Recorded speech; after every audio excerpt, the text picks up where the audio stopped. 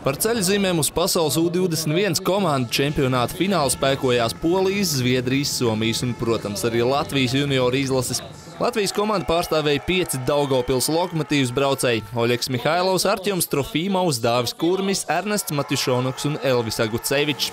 Jau no paša sākuma savu pārākumu pārliecinoši pierādīja pašreizējie pasaules čempioni poļi – Viņi pārliecinoši uzvarēja pirmos četrus braucienus. Vienīgais, kurš izrādīja pienācīgu pretestību, bija Latvijas izlases līderis Mihailovs. Vēlāk kritienu piedzīvoja kurmis un polija vairs nebija noķerama, un mums garām aizsteidzās arī zviedri. 12. braucienā Mihailovs startēja kā džokers, bija ļoti tuvu, lai apdzītu polkaču Mareka, tomēr piedzīvoja kritienu, parāv sev līdz zviedru braucēju un tika diskvalificēts no brauciena.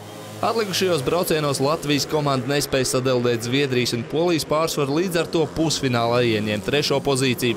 Ar to bija par maz, lai iekļūtu finālā.